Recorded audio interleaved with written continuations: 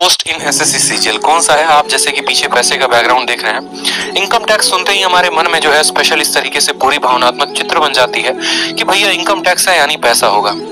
ठीक है? Income tax यानी क्या हो गया? पैसा हो गया।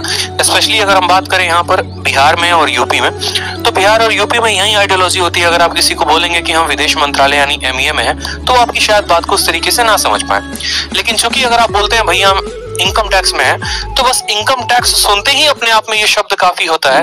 वो आगे ये नहीं पूछते कि तुम इनकम टैक्स इंस्पेक्टर हो या तुम टैक्स असिस्टेंट हो। इनकम टैक्स के हो मतलब पैसा छाप रहा है, ज़रूर छाप रहा है। गाड़ी वाड़ी होगा, बंगला होगा अकाउंट में बैलेंस होगा, लाखों करोड़ों रुपए होंगे, ये माइंड में ऐसा चित्र बन जाता है। क्यों? क्योंकि आप देख रहे हैं कि यहाँ पर ये भाई साहब जो है, पूरा का पूरा नोटों का गड्ढे गिन रहे हैं। इनकम टैक्स का कुछ प्रोफ़ाइल ही ऐसा होता है। उसके बाद बात करते हैं पावर कितना है। तो आप रूबरू है इस पोस्ट से, इसमें खतरनाक पावर होता है। ठीक है? बहुत बढ़िया तरीके से आपको अच्छे अच्छे लेवल से दोस्ती होती है। जैसे मानो जिस दिन आपका इनकम टैक्स का रिज़ल्ट आएगा तो उसी दिन आपका एक ऑटोमेटिक व्हाट्सएप ग्रुप क्रिएट हो जाएगा, ठीक है? उस व्हाट्सएप ग्रुप में भारत में जितने भी उस साल के इनकम टैक्स इंस्पेक्टर सेलेक्टेड है, वो सभी के सभी जुड़ जाएँगे। कोई कोलकाता में किसी की पोस्टिंग होगी, किसी की मुंबई में होगी, किसी की कहीं और पर, किसी अलग अलग देशों में होगा, एक तरीके से चंद पल भर के पहले रिज़ल्ट आने के पहले आपके कोई दोस्त नहीं थे और रिज़ल्ट आने के बाद पूरे इंडिया में सभी इनकम टैक्स इंस्पेक्टर जो है वो आपके फ्रेंड हो जाएँगे। जब आप डिपार्टमेंट में काम करना शुरू करेंगे तो आप सीधा रिपोर्ट करते हैं कमिश्नर को। इनकम टैक्स कमिश्नर ही डायरेक्ट डायरेक्ट आपके ट्रेनिंग में आते हैं तो वहाँ से भी आपकी पहुँच जो है बहुत अच्छे अच्छे लेवल पर शुरू हो जाएगी। किसी भी डिपार्टमेंट में आपकी बहुत अच्छे तरीके से एक्सेस हो जाते हैं।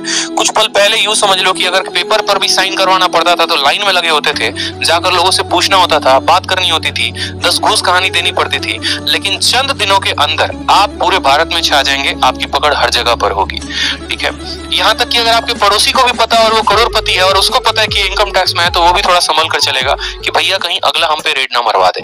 ठीक है? इस बात से भी लोग बहुत ज़्यादा डरते हैं। आपका जो नाम का आईडी कार्ड ही है ना, वो पूरे भारत में काफ़ी है, कहीं पर भी आपकी पहचान को कराने के लिए। आपको कुछ नहीं दिखाना, बस आयकर विभाग लिखा अपने आप में शब्द आज के समय में काफ़ी है। तो यार देखो वीडियो अच्छी लगती है ना तो लाइक ज़रूर किया करो यार। आप लोगों के लाइक से बहुत मोटिवेशन मिलती है, बहुत हिम्मत मिलती है और पढ़ाने की, और अच्छा करने की, और बढ़िया कंटेंट लेकर आने की, और साथ में वीडियो को हर जगह पे शेयर भी किया करो।